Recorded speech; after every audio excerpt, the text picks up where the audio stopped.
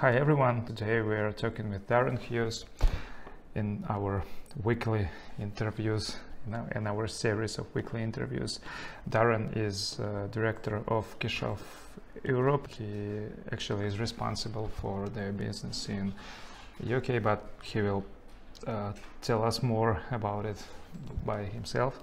Hi. Hi there. Thank you for the uh, for welcoming me onto your uh, to your show. Thank you.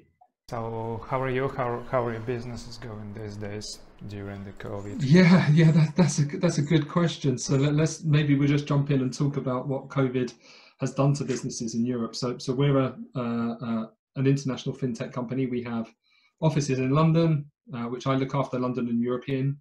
We have two offices in in Russia, uh, one in Yaroslavl, one in Moscow, where we do a lot of our development and innovation, and then we have another office in Hong Kong.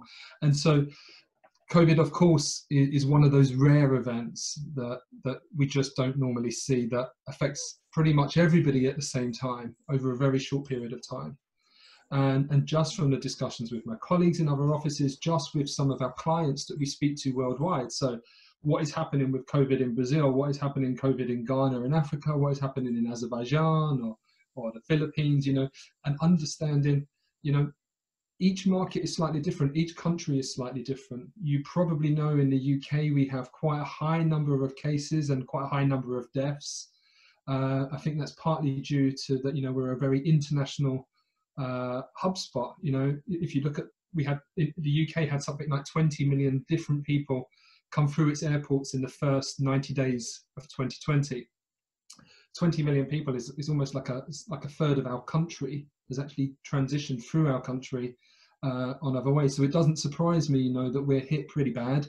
Uh, we have a lot of people transferring, a lot of people carrying the virus.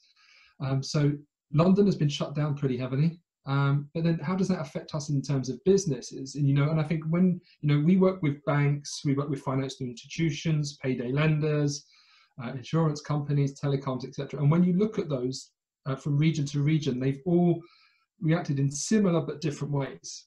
Now, most companies do some level of remote working, uh, but not on this sort of scale. And I think that's what's caught many companies off guard, is, is that scale of being able to uh, have everybody pretty much remote working, but keeping it business as normal.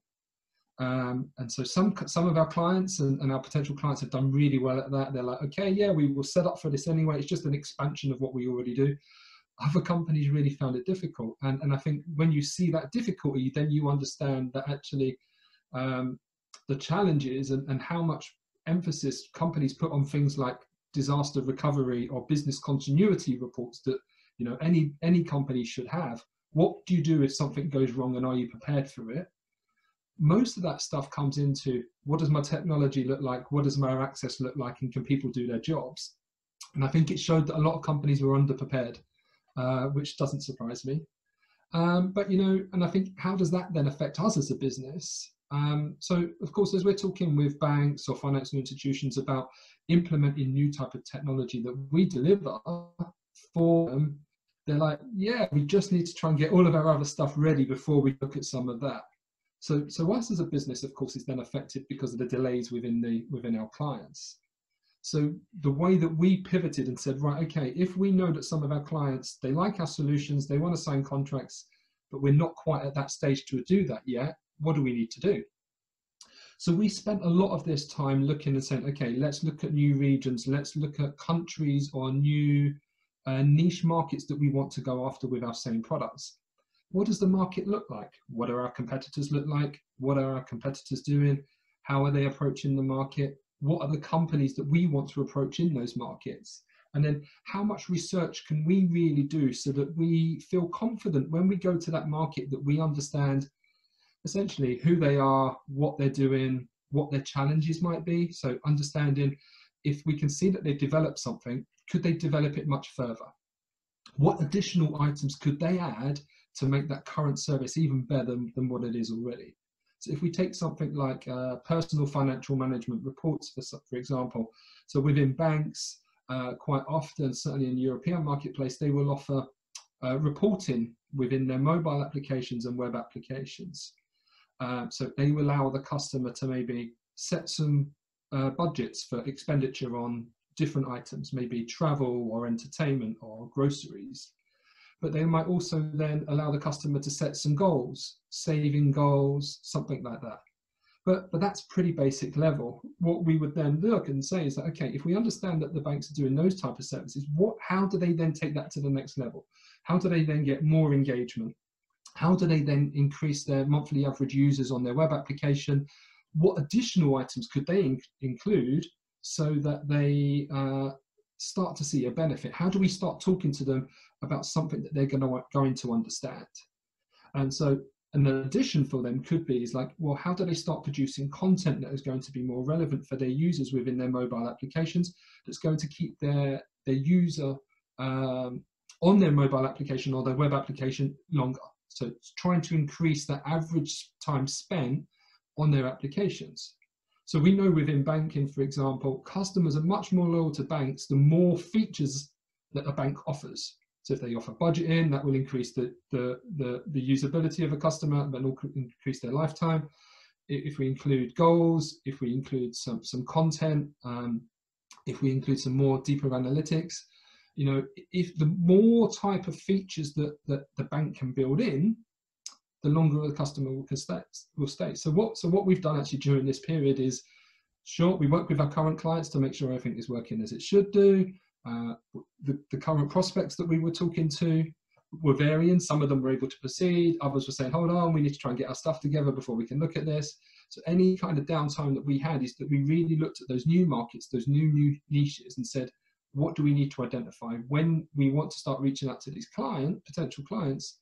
How do we talk to them in a language that they're instantly going to understand, you know, so that we, we understand their business rather than just saying, would you like to buy this? We're saying, we understand that you're doing this can I just show you a way that you could maybe increase your monthly average users by 42% by doing one little thing? And, and it's just trying to then show them how that works. Normally it's a pretty, uh, just, a, just an interesting way for them to say, actually, we can do something else. We, we can make our services better.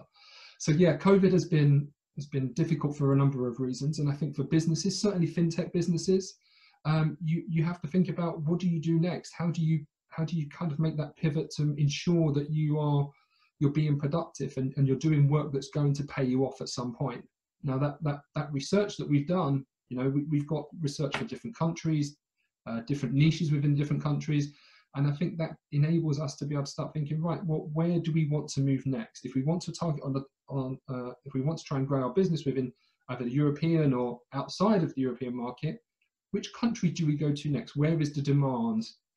What type of companies are there? How advanced are they? Where do we see that possibility? That it's all it's all stuff that you have to do when you want to approach a new region or a new country anyway.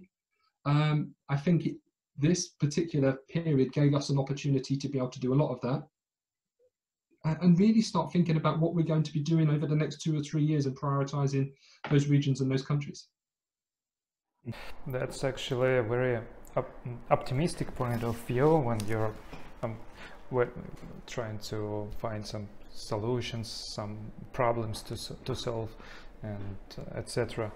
Uh, one question about, um, I've seen your interview from November of uh, past year and uh, it was about that cash, Cashoff now. At that days uh, was focused on um, cashback mostly, uh, up to 50% you, you said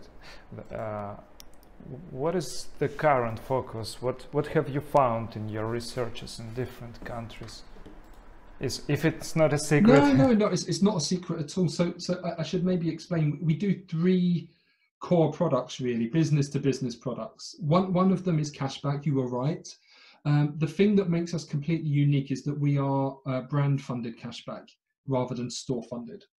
So that means if you look at most cashback services available on the market, it means if you shop at uh, a particular store, Puma, Nike, Adidas, for example, you will receive maybe 5% back. That's, that's nice, but it, it actually ties, it means that the customer has to go to that store or purchase online via that store, um, and it doesn't really give them a lot of freedom. So we work in a slightly different way where we work on uh, brand funded cashback and we normally work down to uh, like a grocery item level as well, or household item levels. So whilst you're doing your grocery shopping, you can receive cashback of up to 50% on everyday items that you buy. Shampoo, diapers for the child, dog food, whatever it might be that you're purchasing, you can receive up to 50% back.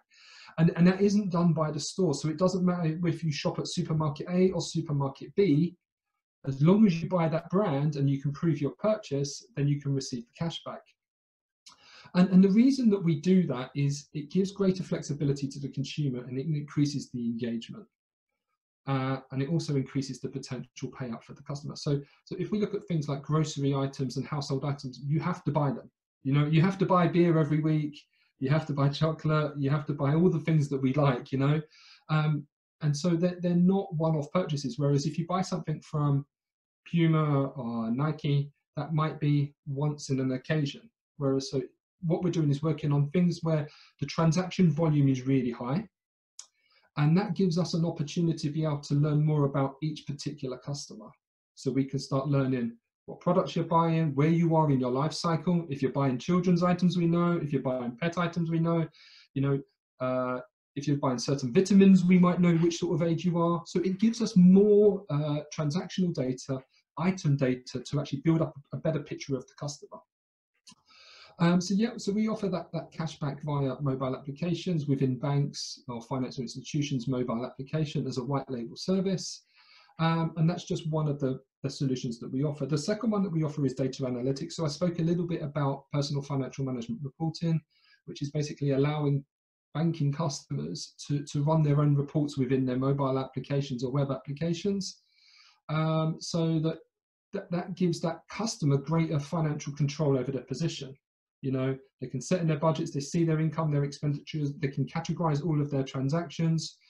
Um, and then the, the third service we offer is like a, is a data aggregation. So that, that allows the customer to bring all of their other uh, accounts from other, from other third parties into the one mobile application. So if we have bank A, they can that customer can bring their accounts with Bank B, Bank C, Bank D into Bank A's mobile application. So in, in Europe, we have something called open banking, uh, but outside of Europe, the, the same principle occurs. Uh, it's just done in a slightly different way, but it means that the customer can bring all of their data into one place, which means they can manage their money in a better way. So they can bring bank accounts, loyalty programs, e-wallets, uh, telecoms, loan providers, anything they want really into their into the mobile application to have all of that data together. That's great for the customer. So along with the analytics, they can manage their money in a much better way, which means they use the mobile applications and the web applications even more. They become more engaged. They become more loyal to that bank because the bank is providing all of the services for them. Um, but it's also great for the bank. So the more data that the customer brings in, the better that they know you and I. So if you bring in your loyalty store cards, if you bring in your uh, other accounts, savings or loans, and that's all visible, it means it's visible to the bank to make better decisions. They have your true financial position. They know exactly what you're spending, how much income you have, how much savings, what loans and commitments you have, uh, but then also, again, it's we can start bringing that transactional items in and right down to item level. To, so SKU level, we can start showing uh, and understanding who that customer is on, on, real, on a real level, their complete financial position. So the bank can make better informed and faster lending decisions. They truly know the financial position of their customer, and then they can start tailoring the products to that customer as well. So if we know that you have a savings account or a loan, loan account somewhere else, uh, you know that that bank can then make a slightly different offer to you as an individual. It's about trying to treat every single customer almost as an individual, rather than mass promotions of a new savings account or loan product. You can start segmenting the database to very precise criteria, even down to an individual level, to to make the usability to make the the user experience more personal and and i think that's really where we're going in the future is is how do we make these experiences and those connections with your financial providers um, relevant? Because quite often they're not relevant you know even in the uk at the moment i open my mobile app every time for my bank and it offers me a personal loan. Every time. It's done it for two years. You know and i'm like i've not taken a loan with you in two years. You might want to offer me something different And so it's it, it's just trying to really understand and each individual, and the cashback is a big part of that.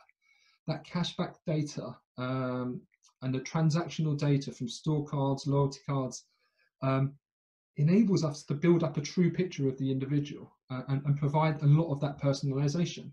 And if you, you know, if you get that personalization, the customer will stay stay with you. So in Europe, 74% um, of customers will give more data to companies they trust if they will give them a discount on something they're interested in purchasing. So that's three quarters of your customer base will say, yep, use my data however you want, as long as you make it relevant to me. And, and, and that's really, I think, what financial institutes have to understand is your customers are saying, know me better, treat me like me. Don't just send me mass promotions. Don't just spam me with different offers.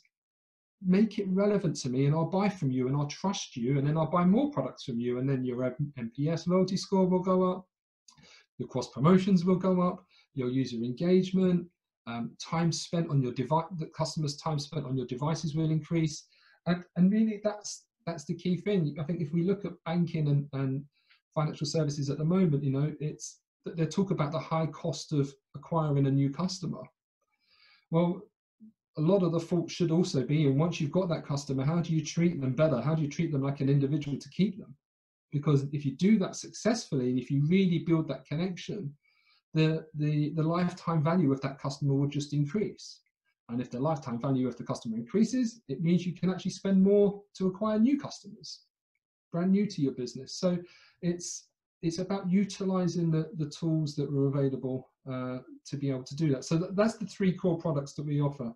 Data aggregation to bring the banking data in, uh, data analysis to allow the customer and, and the bank to be able to analyze their results, and then cashback really for that, in, that increasing the engagement and, and more personalized tailored offers. I think that I hope that answers your question. Yeah, completely.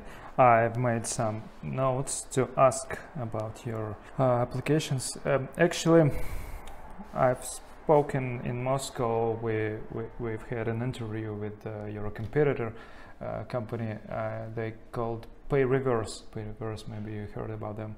Uh, they they do cashback as well as you, but I I don't understand. They they don't provide such uh, such great amounts of return uh, how, how is that possible? How machine learning helps to you in yeah, that? So, so I think if I understand correctly, your question is how do we offer such high cashback?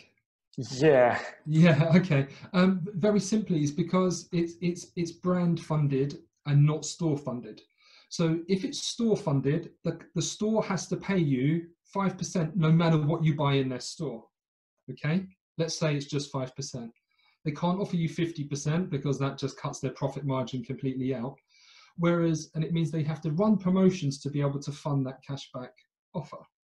Whereas if it's brand funded, it means the brands, let's take Heineken beer as an example. If they do ca uh, cashback, which is brand funded, where they're funding it with us, they're only paying for customers who prove they buy their product.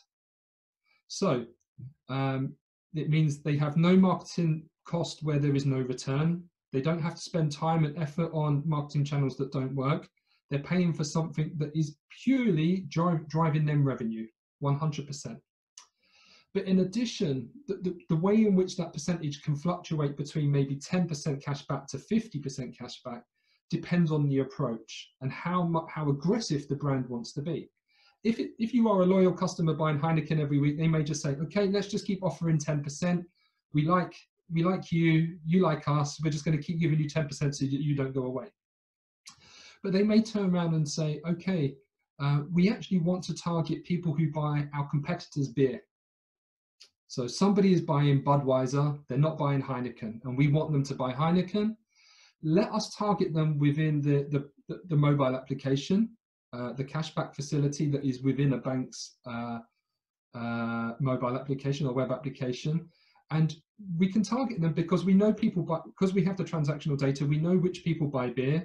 We know how frequently we know what beer they're buying what quantity what locations etc and so the brand can actually say we want to try and steal some of that market share from budweiser in this example.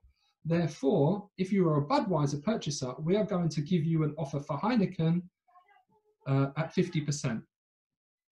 So it means that they can actually, they're willing to pay more money to take that market share and they know they're taking it directly from that Budweiser or their direct competitor because that's who we're targeting. We, we are only targeting who they specify.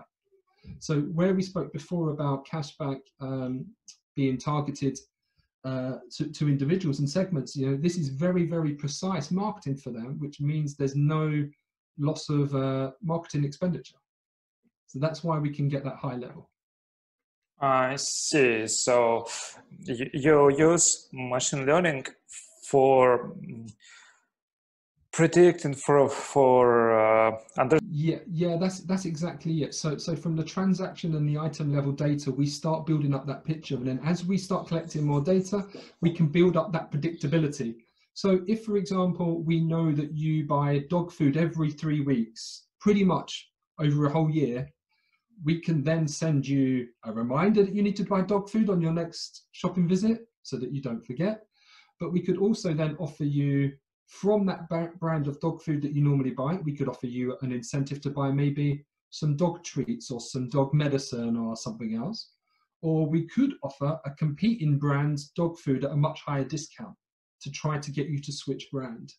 So yeah, so the way that we're using that machine learning, that artificial intelligence is to try and plan the predictability of who's going to buy what and what product we need to show to that customer there's no point me showing you Heineken beer if you if you don't drink. So everything that you'll see within the application is tailored to you as an individual.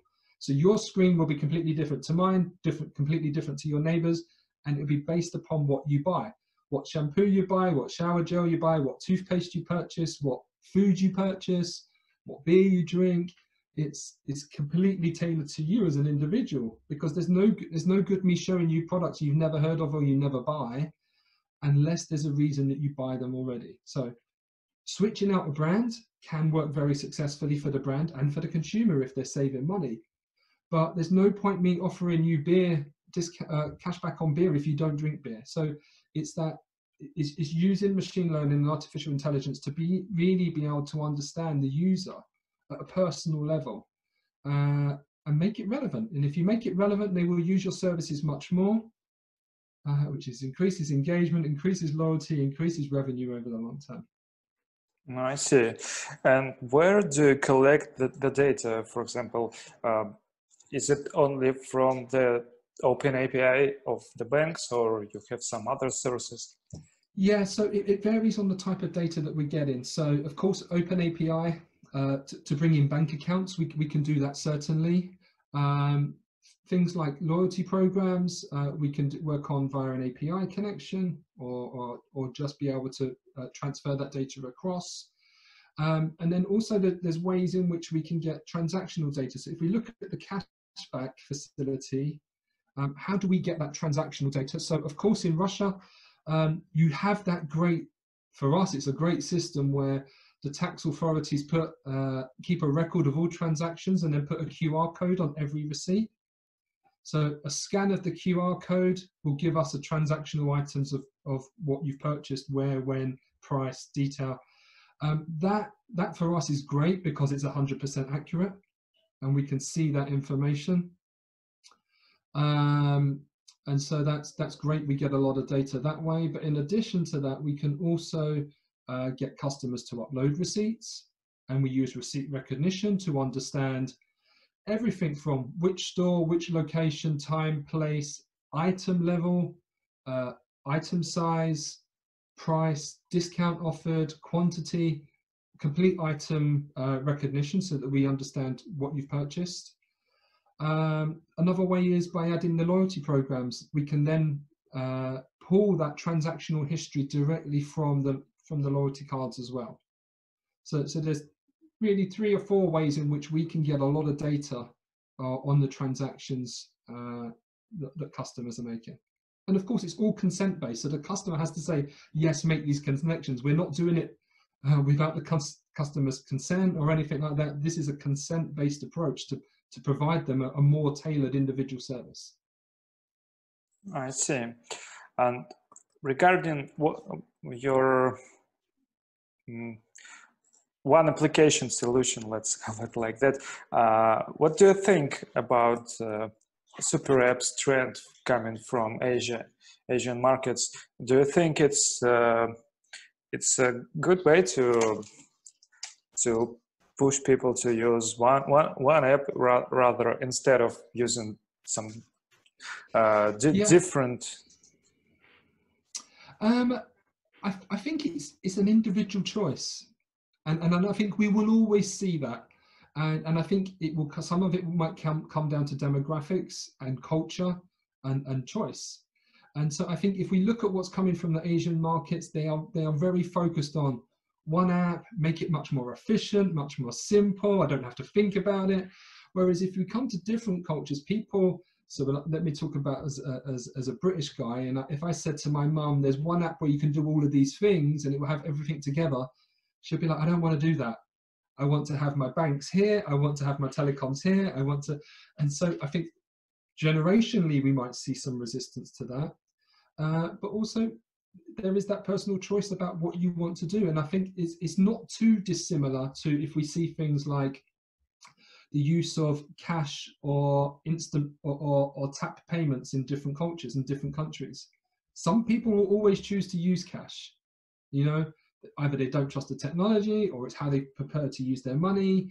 Um, and I think you will notice from region to region, country to country, demographic to demographic, it's going to be different. So although I think some of that development is fantastic, uh, and you know, we do a lot of that. We, we allow our customers to bring a lot of that stuff together in, in one mobile application if they wish. Um, you're not going to please everybody. It's not going to be suitable for everybody. Uh, and I think if you took a if you took a bank, for example, where where customers were had the option to do that, you would find a whole range of of people that would make different choices, and so you would never get, unless you force customers, uh, a hundred percent um, take up of of a facility like that. So I think what we will see is is a good option. It's another option. Um, consumers will dictate about how they want to use it. What do you think about the QR codes? Do you think they will replace normal cards, especially during these COVID days um, and, and, further? Yeah, QR. I think I think it's you know that, that technology has been around for a long time. The, the use seems to be increasing. Um, I think in Europe, definitely in the UK, I think we've been very slow to adapt to the ability of QR codes. Uh, I think we've seen uh, a lot of take up in other countries. Uh, but the UK, for some reason, and I don't know why, has been fairly slow around this technology and, and the, the opportunities behind it. It just hasn't really taken off here as a, as a function of, of, of usability. Uh, and I think the same is probably true across Europe. It is increasing year on year. So I think something like COVID may may uh, improve those those chances, and, and, we'll start to see um, uh, more benefits uh, as time goes on. Um, but it hasn't really reached the level, certainly not in the UK, that I think many people were predict, predicting maybe five years ago.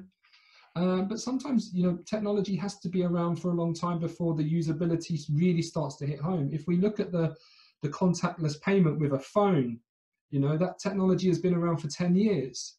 But it's only maybe in the last two years, three years in UK, uh, that it's starting to become much more common and that people are starting to do it. Um, and, and, you know, and I think sometimes it, it takes, it's not going to be an instant overnight thing. You, you need to be able to see that slow development of time and, and the consumer needs to be able to see, well, what is the benefit of me to being able to use that or use it? And, and then that's when it slowly becomes adopted more over, over a period of time. Could you tell me about your shift to about your journey to Cashoff? I mean, you you you haven't been in fintech for all the uh, for during no, all your life. Sure, sure. Okay, so let me tell you a little bit about me. So, um, I studied uh, uh, business and uh, financial management. Uh, from there, I started off in in marketing. I decided that's really where I wanted to be. And so I spent almost 20 years in, in retail financial services. So that's everything from uh, independent investment advice, uh, cryptocurrencies, uh, some some banking, uh, some loyalty, but most of it really was around financial services and retail financial services. And then obviously more recently moving into fintech is, is there's been a whole new industry and, uh, and new opportunities, I think, for people like me to be able to utilize the skills that we may have built in more traditional forms to then bring them to the fintech businesses to say, okay, right, this is how we want to think about it, this is how we can grow, and, and these are the benefits that we can start to showcase to, to potential clients. So I started off in very traditional independent investment advice, right through to cryptocurrencies, banking, now fintech. So yeah. So for the last 20 years, I've been doing that. Um, us as a company, um, Cashoff started in 2013 uh, from the Skolkovo Innovation Center in Russia. And so we have an office in Moscow, and then we also have uh, uh, an office in Yaroslavl. So we have maybe 50, 60 staff split between those two offices, uh, where we do a lot of our innovation and strategic planning, but then also our development as well. So we, as we develop new items, we scale our scale our team up, or if we take on a new client, we scale our team up in that way. Um, we also have our uh, our business development uh, office in in Hong Kong. So we have an office in that region to really serve the Asian market. So we're looking at areas like the Philippines, Hong Kong, Thailand, uh, to, to give us be able to, to be able to work with banks and financial technology companies, sorry, financial institutions in that in that region, a, very localized hub. And then I work uh, in the, the London business um, really to service the European needs. But actually, what we are finding that, of course, in Europe, we are governed by some of the services that we produce comes under open banking legislation, PSD2, uh, which was a European legislation from a couple of years ago that basically mandates banks have to open up their data to regulated third parties. And the reason for that is to provide a greater range of services, more competition, and to increase the technological advantages within banks. So to make really make the most of services that could be there for consumers. Um, but outside of London, I also take, sorry, outside of Europe, I also take care of the rest of the world essentially. So whether that's Brazil or the Middle East or Africa, uh, and that's because there's starting to be demand from those countries saying, okay, we understand what's happening with open and banking. We don't have our own regulation yet, so we're not. They're not too sure how quickly they can move to offer some of these benefits to their customers. Um, and so they're looking at what's happening within the European Union um, and saying, right, we know that something similar will happen uh, in our country. So if we take Turkey, for example, in Turkey, they just adopted the same regulation that we have within Europe, BS, PSD2. Um, but then if we look at a country like Azerbaijan, they're like, we would like to have that, that, um, that same legislation so we know what we can do and how we must operate, but it's not yet available from the regulator. So they're trying, so we, in that instance, we have the banks pushing the regulator to say, come on, let's make a change, let's move forward. Um, but we're seeing those type of things happen in, in, in, different locations. You know, Australia is developing their own versions, uh, Brazil has done their own. And so the world, there isn't really going to be an international standard, but there will be similarities between the regulation around open banking uh, and those type of connections, I think, internationally within the next two or three years. Do you think, uh, basically in Russia, something similar, similar happening to Turkey and etc. Because uh, in, in it's just test versions between different banks here and there something happening but um, what why banks uh, are could, could be interested in open api because sharing data with competitors with our with other fintech companies why should they do that it's maybe? a good question I, I, think if you ask most of the ceos uh, let's just say across europe of what they feel about open banking I think something like 70 or 80% of them will say it's going to be a good thing. And the reason for that is because the more that you try to hide your data and you keep things just to yourself, you're only working in that environment as big as you can keep that data together.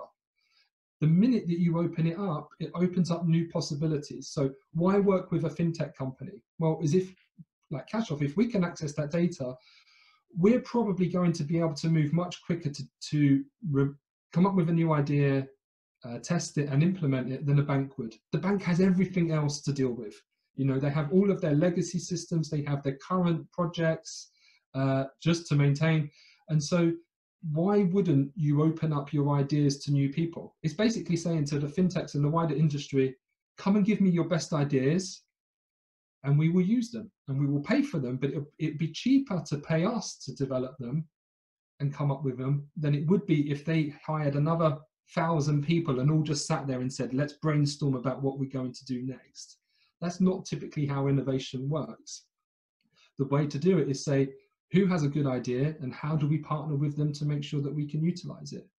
Um, and so that the opening up of the data, I think, is is going to push banks out of their comfort zone. Uh, I think the banks that adapt and they move to that digital to that digital zone will do very well. Those that embrace either their own internal teams or work with fintechs uh, will do very well because they will be innovative. They will find new services. And remember, I said earlier on, the more features and services a bank has, the more the customer stays with them. So, really, the bank should be saying, what type of services do we want to deliver and how quickly can we deliver them? If we can't deliver them internally, then let's work externally. And that's that will really drive the innovation for them. It will give them more services that they can offer. It will keep their customers happier. Um, the banks that don't do that will slowly die. Uh, I have no doubt about that. It may it may take 10 years or 15 years, but they will slowly die. And I think we've already seen how customers are willing to move very quickly now to banks that do what they want them to do. So if we look at Revolut or, or Monzo or any any of those um, new banks, they've come along and said, okay, we we know we know some of your pain points as a customer, and we're going to solve them very very quickly we know you don't like paying uh, foreign exchange fees, for example, so we're going to remove them. You know, that's them thinking about what does the customer want? How do I talk to the customer personally and then deliver that service? Um, banks could have done that. Traditional banks could have done that for years, but they've chose not to. They've become very slow. They've become very internal, um, and so there, there's there's a lot of change I think going to be happening in banking. Some of those big banks might buy some of the other banks, I don't know, uh, just purely for the technology and, and the advancements they're going to bring. But I think what we've already seen is that, that fintechs offer a huge amount to banks. Um, it gives them more, more ideas.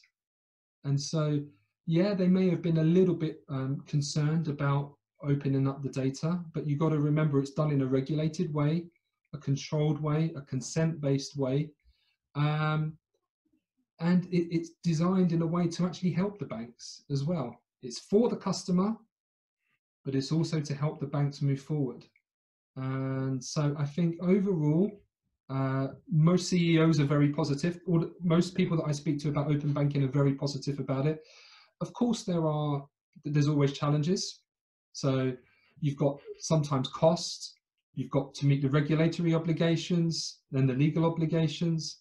Uh, and your systems need to be able to adapt. And I think that's one of the big sticking points for banks is that they have these old legacy systems that are not that adaptable. Well, if you don't adapt and change and upgrade or or do something different, that that legacy system is going to drag you down. Uh, and I think that's what's going to to hold back some of that innovation for the banks, certainly. So so there's there's pros and there's cons there for for the banks, but it's great news for me and you as consumers because we should be getting better services that are relevant for us. Absolutely. Um, as what I see here in Russia, uh, in the past 10 years, uh, bank services um, improved dramatically. Just, just amazing things happening because of the technology. Yeah, exactly. And, and, and the services that will come in the next one or two years, um, are not even thought about at the moment. That that no nobody has that idea about exactly what the services will be in two or three years' time. We might have an, a, a very loose idea, but actually, what will be developed in the coming two or three years doesn't even exist at the moment. And I think that's got to be really exciting for, for banks and consumers. So for the banks, they're going to find a new range of services that will make them money. And, and for banks at the moment, most of their traditional banking services that they provide, the margins and the profitability is getting squeezed year by year. So they're making less and less money, more competition, more efficiency, etc. Um, so I think for banks, they should be saying, what new services can we provide and how do we make more money from them? And normally more money will come from that personalization that we spoke about earlier. If you offer the right product to the right consumer at the right time, they're going to buy it. And so banks have to get much better at that. If we look at uh, some industries, they're really good at it. If you look at banking, they've been terrible at it. Their, their personalization on marketing and promotions has been has been pretty slow to develop and adapt. Um, and that unfortunately that's the way of most very established markets. They can be very slow to adapt to technology. The same is true in construction. You might think construction, they build these wonderful buildings really quickly, uh, but quite often they have no digital version of that building. They've just built it and they've got some paper drawings that look lovely, but they don't have anything digitalized to say, when does something need to be replaced or expire? How efficient is it for energy? Those type of things. So construction is going through a similar thing to banking, but in a slightly different way. And but, but they're both huge industries that have been very, very slow to adapt. And I think next five years will be uh, a great time for those banks to really gear themselves up for the future. And, and those that do it well and quickly will prosper. Those that don't it's probably goodbye. I see. But um, the question is, for example, if Cashoff will provide services to every bank, what where is the competition advantages there there in, in that point, for example? That's that's a great that's a great question. Uh, if we worked with every bank in the world and offered just our services, that would be wonderful. But of course, where do those banks get those? that's a great question. Um, I think as working with our with the banks, what we have learned. So we've worked with more than 50 banks internationally, and what we have seen is that um, every client is slightly different about what they want to offer. So we might offer a range of services, and let's say we'll take that, that, that, and that. That will be slightly unique in some way. Um, another bank will do so, something very similar, but they'll have their uniquenesses but also banks are saying to us, okay, we like what you do. Could you change this just for us? And we're like, okay, we, we could we do that for you. And, and I think what we'll start seeing is that the banks and the fintech start speaking and working together to devise those new range of services that I've already spoken about, you know, that I mentioned earlier. Some things we don't even know exist yet will be coming via those collaborations and how things will change. So there will be, uh, there'll always be innovation and new developments that will supersede some of what we're doing today. And so it will always change. Um, we have competitors in the marketplace that do things differently to us. Um, so let's take our cashback, for example. We're probably, I think we're the only company that does brand funded cashback rather than store funded cashback. It's two huge differentiators. For some companies, they're going to say, yeah, we want brand funded and they might have their particular reasons and goals why, and I would understand those. Other companies, let's say, okay, let's do cashback uh, brand funded, slightly different. And then there's variations that we can put on that. How can we use it differently? So a loan company could say, uh, our customer is paying back our loan every month. That's great. What if we allowed them to use our cashback to pay the, lo the loan quicker? One, co one company could do that. Another company, another bank could say, okay, all the cashback that a customer earns, we want to put into a child savings account or to a, a home savings account um, or into an investment fund or into a crypto investment fund. When you start looking at the type of services that we offer and, and actually how you can make them unique depending on the demographic and the profile of each bank's customer base, uh, you can turn one solution that we offer maybe into about 10 or 20 different versions of it that suit a particular niche market. So I think that's that's what we'll see is that we'll see the uh, the nicheness, the uniqueness of each each relationship between the bank and the fintech that would drive that innovation and the differences. Yeah, I've heard one uh, several words about it. It's like uh, competition on on a half tones. So uh, the banks they are different on some slightly different. Uh, they are not so different for the users, but here and there some something different they they, they provide. So okay, uh, yeah, I think if you look any, at the anyway, banks that are doing very yeah. well, uh, they they offer traditional banking services, but they offer one or two things slightly different, and that's what the customer buys into. That's when they start believe that the bank is listening to them and providing the solution that they want. That breeds huge customer loyalty, uh, and that's what banks have to strive for.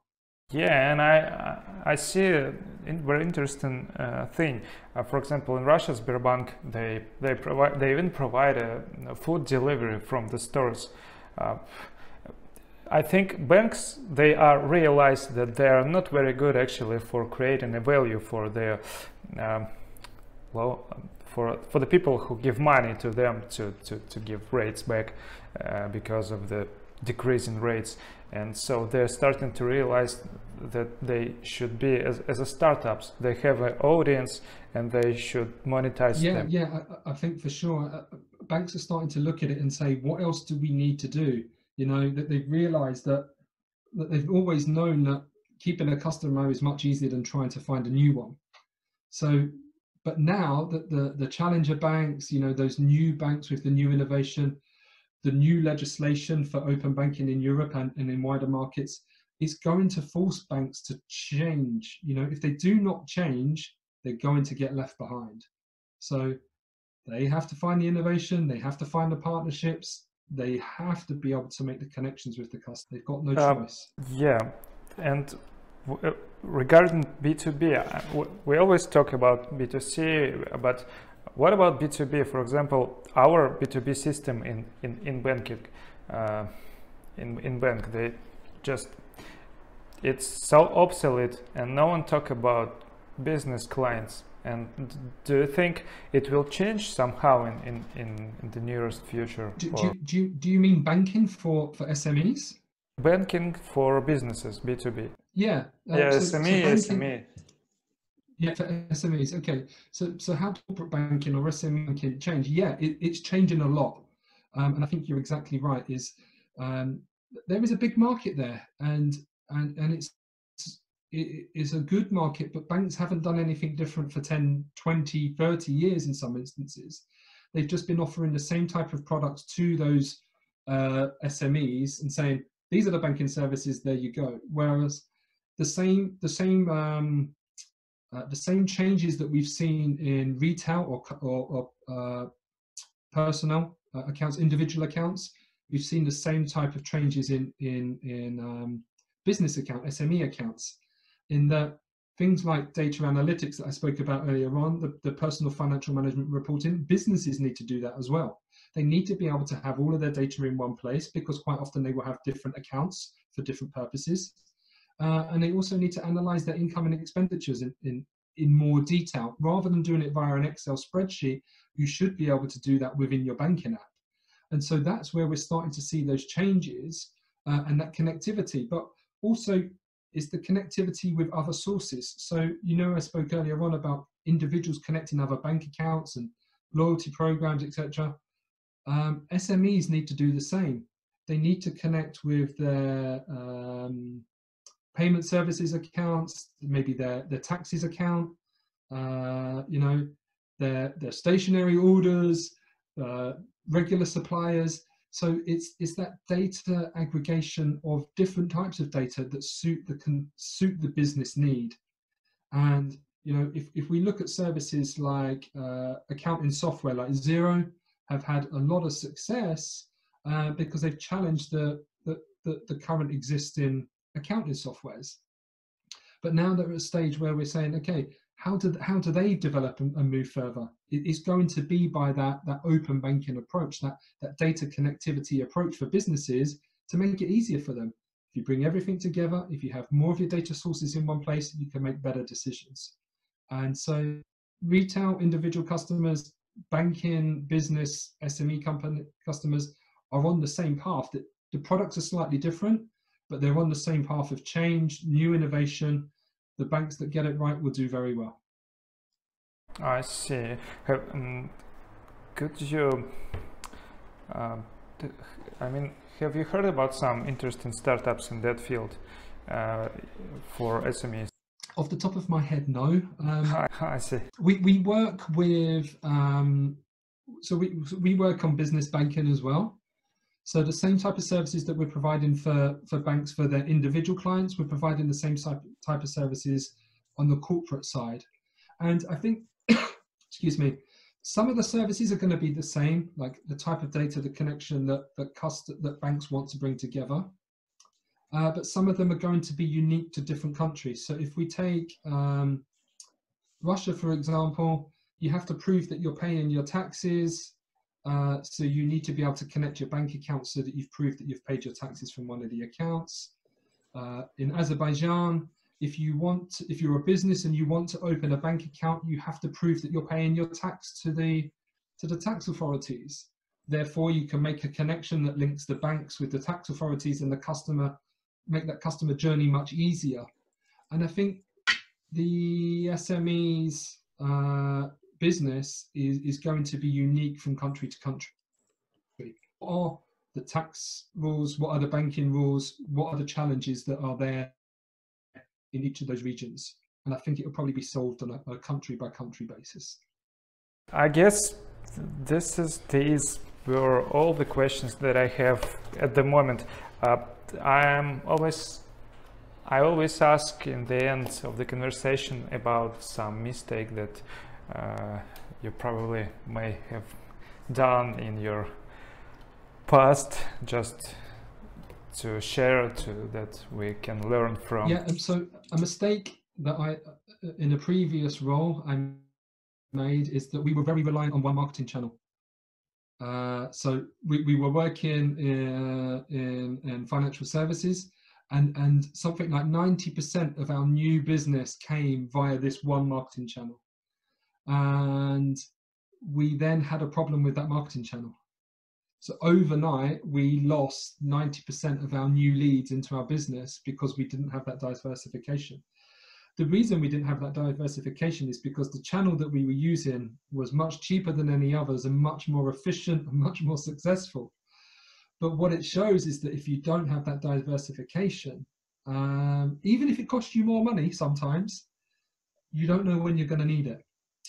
So, so the one lesson I learned maybe 15, 20 years ago uh, was you better have more better have more routes to get new customers. Because if you don't you don't know when something's going to happen uh, that you're going to need it. So and, and, and a really good example of right now with covid i know a lot of companies were reliant on exhibitions to get new customers uh, well, no exhibitions have happened for the last three months, and no more will probably be happening for another two or three months. That's six months without any new leads into their business.